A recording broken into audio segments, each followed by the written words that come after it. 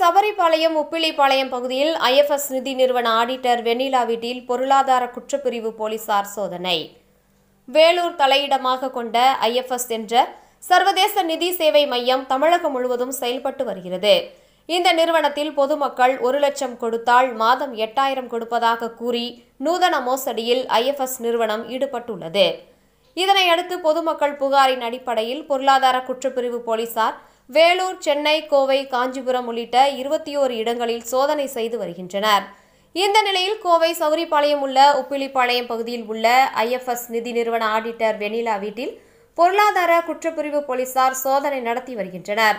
மேலும் அவரது வீட்டில் வங்கி கணக்குகள் மற்றும் கம்ப்யூட்டர் உள்ள ஆவணம் பொருளாதார குற்றப்பிரிவு போலீசார் சோதனை செய்து வருவது குறிப்பிடத்தக்கது.